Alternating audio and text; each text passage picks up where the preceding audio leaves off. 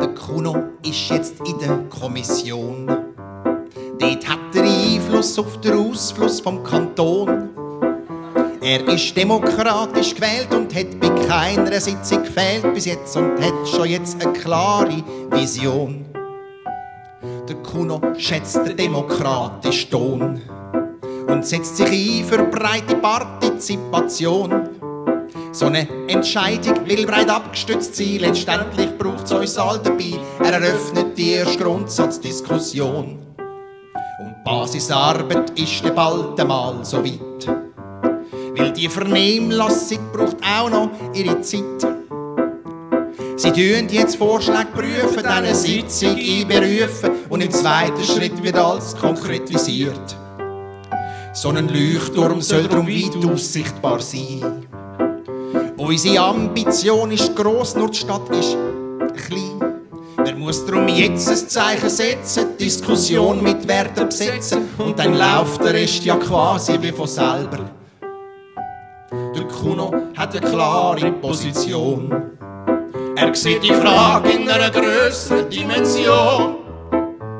Man muss das Projekt begleiten, den nächsten Schritt schon mal leiten, bei Bedarf intervenieren und auf Vorschläge reagieren. Es ist darum abhängig vom Paper, wo die Arbeitsgruppe macht und sicher ihrerseits eine längere Diskussion entfacht. Man kann schon Leitplanken setzen, es wäre verheerend jetzt zu hetzen, um den Vorbericht zu veranlassen, müssen wir zuerst einen Beschluss fassen und zu Handen von der Steuerungsgruppe das erste Mal einen Bericht verfassen. Und wenn dann das Projekt im breiten Kreis Interesse weckt, kann man dann eventuell in Basisarbeit gehen. Der Kuno ist jetzt in der Kommission, hat sich eingeschafft und erkennt jetzt die Situation.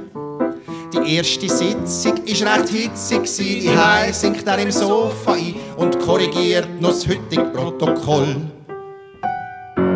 Das wird nächste Woche verschickt, zusammen mit Bericht. Und Traktanten stehen schon jetzt im Protokoll. Das nächste Mal das Gleiche in Moll. Der Kuno ist jetzt in der Kommission. Dort hat er Einfluss auf den Ausfluss vom Kanton.